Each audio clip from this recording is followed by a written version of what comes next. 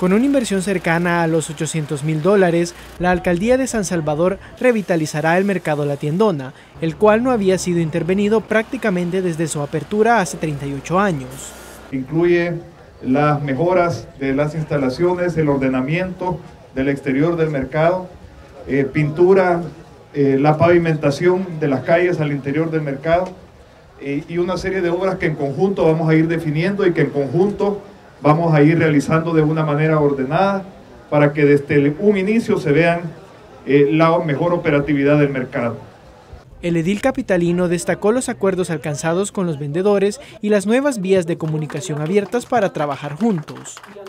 Ahora tenemos una línea de comunicación directa para que no hayan intermediarios que busquen eh, dañar la relación o que vengan a trasladar desinformación eh, tanto a la alcaldía como a las organizaciones de vendedores. Y agradecemos muchísimo la disposición que han tenido ellos de que trabajemos juntos con una comisión que fue conformada por nuestros concejales y diferentes gerentes y jefaturas de la alcaldía de San Salvador. Las obras además contemplan el ordenamiento del tráfico fuera del mercado para garantizar un acceso fácil a las instalaciones. Se espera que los trabajos sean concluidos en un periodo cercano a los seis meses. Este es un informe de la prensagráfica.com.